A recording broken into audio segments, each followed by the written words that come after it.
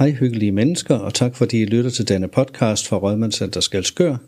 Mit navn er Jørgen, og jeg er jeres vært i denne uge, og denne episode udgives søndag den 28. maj 2023.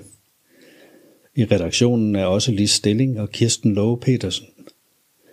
Husk, at Rødmandscenter Skalskørs åbningstider er mandag til torsdag kl. 8 til 16, fredag kl. 8 til 13, lørdag og søndag er holdt lukket. I ugerne 30 til 33 lukker centret mandag til torsdag kl. 15 i stedet for kl. 16.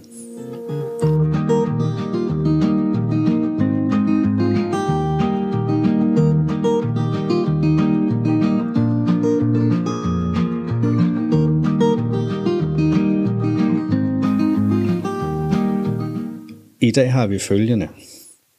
Der er nogle arrangementer i den kommende periode, vi skal høre om cykling uden alder. Hvad er nu det? Og der er caféens menu i den kommende uge.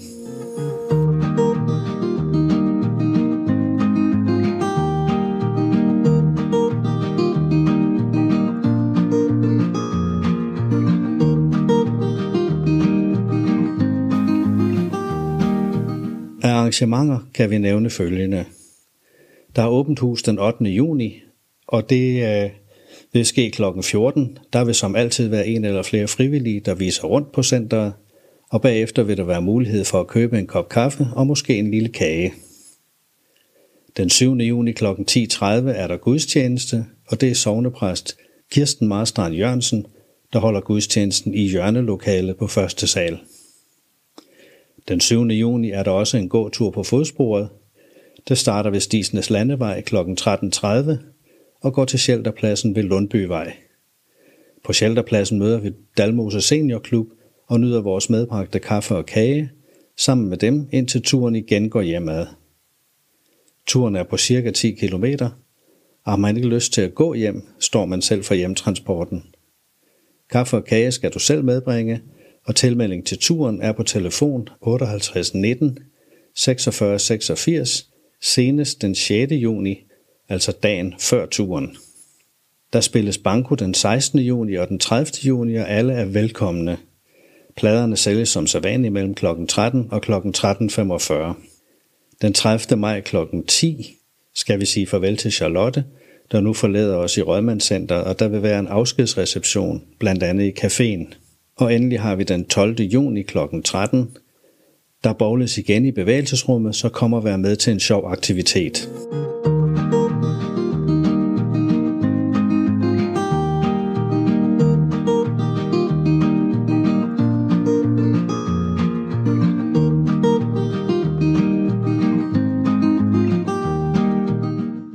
Jeg har mødt Leif, som er cykelkaptajn for Cykling Uden Alder, til en lille snak om, hvad cykling uden alder er, og hvordan det fungerer hos os her i Skalskør. Cykling Uden Alder har den mission at give ældre medborgere ret til vind i håret. Hver dag kan du møde 450 rickshaws med røde kalesjer rundt om i Danmark. Mere end 50 kommuner er med i fællesskabet. Cykelpiloter imiterer ældre på plejehjem og nu også i eget hjem ude i rickshaw, og sammen får de nye oplevelser og frisk luft. Cykelturene er magiske. De bringer smilet frem hos alle, bryder ensomheden og styrker fællesskabet. Generationer mødes, og nye venskaber opstår. Her hos os i Rødmandscenteret er cyklen parkeret hos naboen, nemlig Rødmandshaven. Det er også herfra de fleste af de borgere, der kommer på tur, bor.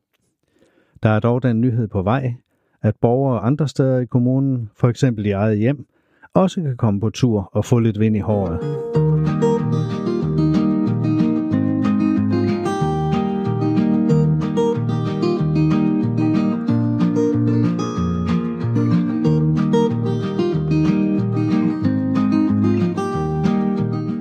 Som Leif siger, det gælder jo om at få cyklen mest muligt på gaden, så vi dermed synliggør vores, vores gode tilbud. Det nytter jo ikke, at vi har mange gode planer, hvis cyklen aldrig kommer ud i lokalsamfundet. Det er jo hele tiden en opgave at sikre, at de piloter, der kører cyklen, også kan afse tid i dagtimerne, da det jo er frivilligt arbejde at være pilot, som det hedder. Udover pilotrollen er der også en rolle som kaptajn. Denne rolle skal blandt andet være med til at sikre, at piloterne har det bedst mulige kendskab til cyklen, og eventuelle procedurer, hvis noget skulle gå galt på en cykeltur. I Skelskør er vi så heldige at have en koordinator, som dels booker ture for borgere, der gerne vil afsted, dels godkender og finder deltagere, når piloterne melder ind i det fælles bookingsystem, at de har en mulighed for at køre. Der er på vores cykeliske i Rødmandscenteret stadig ledig kapacitet. Henvend jer trygt til koordinatoren, hvis du gerne vil have en tur, eller hvis du gerne vil prøve kræfter med chancen som pilot. Jeg er i hvert fald glad for de ture, jeg kører, og mit indtryk er, at passagererne også har nogle dejlige ture rundt i Skelskør og omegn.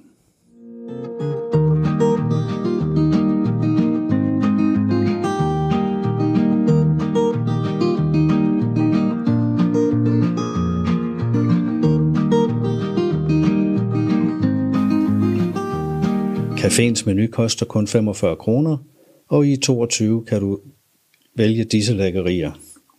Mandag den 29. maj, der er der lukket, for det er jo anden dag. Tirsdag den 30. maj, der får vi tomatsuppe med fiskeboller. Onsdag den 31. maj er der hakkebøf med paprikakartofler, sauce bernæs og hvidløgsbagte bønner.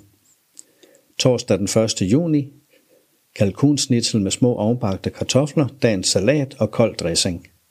Og endelig fredag den 2. juni, krebinetter med stuede ærter og gulerødder og kartofler. Der kan naturligvis forekomme ændringer, men der er frisk kaffe og en kage hele dagen lang. Så er vi ved at være ved vej ende i denne episode af podcasten om Rådmandscenteret, men inden lukketid vil jeg lige minde om, at dine kommentarer og ønsker er vigtige for os. Aflever derfor gerne kommentarer og ønsker via mail eller i receptionen, så er du med til at gøre vores podcast endnu bedre. Mailadressen til podcasten er podcast4230 gmail.com og det var podcast 4230 gmail.com. Tak for nu, hyggelige mennesker. Vi høres ved i næste episode af Rødmandscenters podcast.